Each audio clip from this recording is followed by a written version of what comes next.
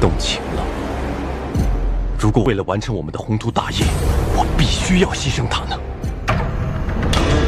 我从殿下的琴声里听到霸道，我是不是应该顺？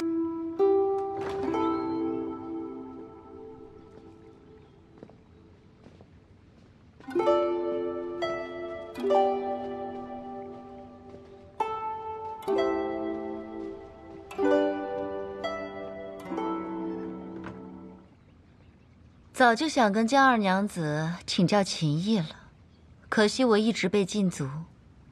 今天借此机会，不如江二娘子来指点一二。殿下请我过来，就将我父亲晾在外面，不是为了和我切磋琴艺的吧？人生难觅知己，我也想好好看看，我能否跟江二娘子也有那高山流水、琴瑟和鸣之感？殿下谬赞了。我可担不起这一生知己。我从殿下的琴声里只能听到霸道、冷血、无情，让我感到无边无尽的恨意。我倒不这么认为。这难道不正是芳菲落尽梨花白的精髓吗？你不也一样，以恨意入琴，才能在岁世上一鸣惊人？那不知殿下的恨是什么？你身为大燕的长公主，受万民供养，如今千丈蚕桑供你锦衣，万亩良田养你玉石，殿下你谈恨，不虚伪吗？锦衣玉食，万人供养，哼，你懂什么？难道我就应该只身一人去往代国，为了大燕的安危，在那极寒之地千疮百孔的活着吗？然后呢？你千疮百孔，就要让别人万劫不复吗？我也曾死于非命，靠着恨意活了过来。可我不曾伤害无辜，不曾因自己的一己之私就杀人七族。看来你知道的还挺多的嘛，江二娘子。你这个小兔子知道这么多，还掉进我的洞穴里，我是不是应该顺手杀了你，毁尸灭迹？你杀不了我，这么有自信。杀了我，你还怎么救沈玉荣？你知道我为什么想救沈玉荣吗？沈玉荣因为荣华富贵攀附于你，若他知道你对他见死不救，他必定拉你下水。我根本就不怕他拉我下水，整个朝廷欠我。早就还不清了。当今坐在龙椅上的那个人，是无论如何也杀不了我的。殿下不觉得自己太狂妄了吗？这就叫有恃无恐。沈玉荣也是这样，对我有恃无恐。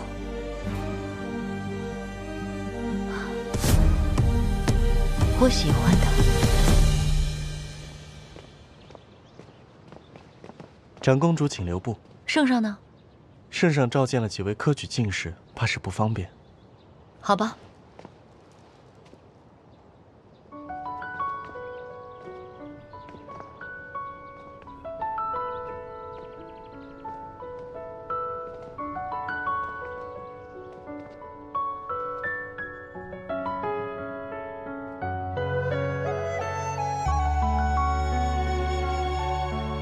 那位是谁啊？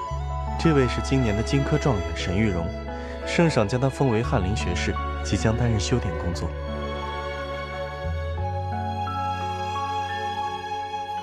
天微亮，抬头望灼灼目光暖阳。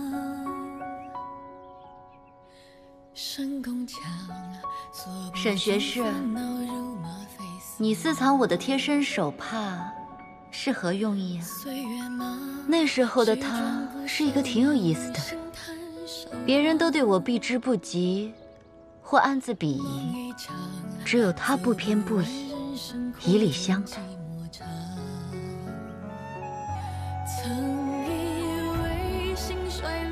长公主，请收好。你捡了我的手帕，是不是表明你我之间该有一段缘分，下官已有妻室，不敢同长公主结缘。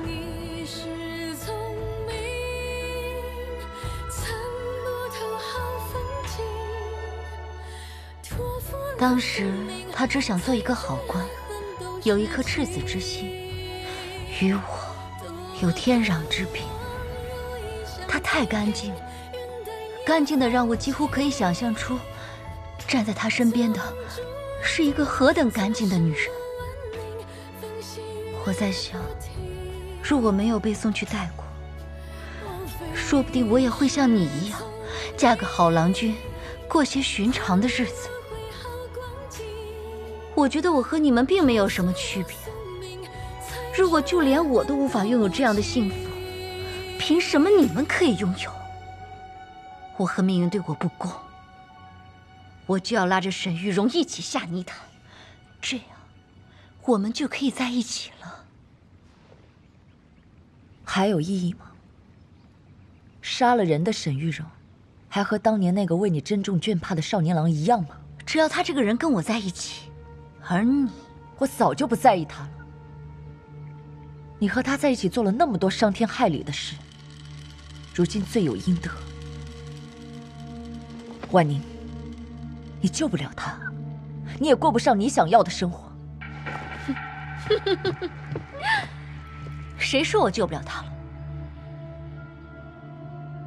你想买通所有人翻供，我不信整个大燕能让你婉宁只手遮天。我确实没有这么大的能耐，救沈玉荣也不需要那么多人，只要一个人翻供就行。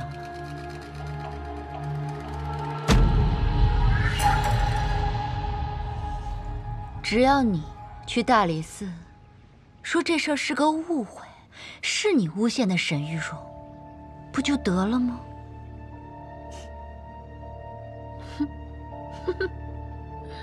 好，我到时候就照这么说，如你所愿。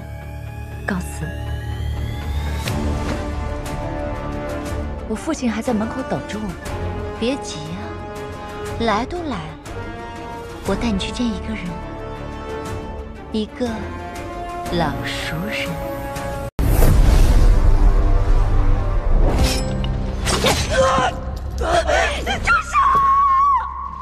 你说，你想让我做什么？沈玉荣换薛昭，审问的时候翻供，我就放了他。赵柯说江二娘子从长公主府出来就神色恍惚，想必是长公主同她谈了什么。人证物证皆已点齐，只要再确认一次江二娘子的证词，沈玉荣便可落罪。刚刚江元柏带江二娘子去了大理寺，不知为何，这江二娘子突然就翻了供了，人被就地关押了。什么？